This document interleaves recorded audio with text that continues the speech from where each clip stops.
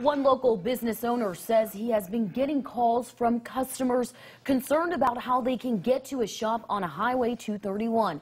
This comes after the highway in Lacey Springs was shut down last week because of cracks in the road. Now the road is blocked off while crews evaluate the damage.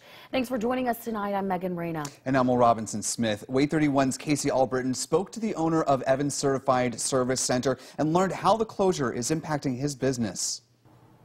One business owner says ever since Highway 231 shut down, he's seen a decrease in business. You can take a look behind me and see there are no cars driving on this road right now because barricades are up. State troopers say they are working with the Alabama Department of Transportation to find out when exactly those barricades can be moved. Is that going to affect your business any? And I said, no, it's fine because everything is past my shop. And then the first morning I pulled up and the roadblock was directly at the red light. Zach Evans owns Evans Certified Service Center on Highway 231 and says when barricades were put up on the road leading to his shop, he was concerned. I don't think a lot of people are going to want to deal with the traffic they know is building up, plus having to deal with the roadblocks. He says since the area was blocked off because of cracks in the road, customers have been calling him with questions. They basically were just concerned that they could even get here, A, and B, you know, could they get through the roadblock and after they talk to the troopers about it. He tells me he's seen a decrease in business. A few people have complained just of the hassle of having to stop at the roadblock. Residents in the area say they are also frustrated. If I want to be somewhere on time, I got to leave 30 minutes early. Evans says he wants the barricades to be moved closer to the construction area.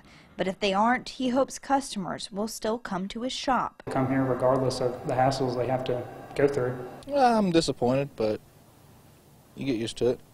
Just plan for it. The Alabama Department of Transportation says these barricades are up to keep drivers from getting close to the construction site. We also reached out to find out when exactly Highway 231 will open again, and we're waiting to hear back. Reporting in Lacey Spring, Casey Albritton, WAAY 31 News.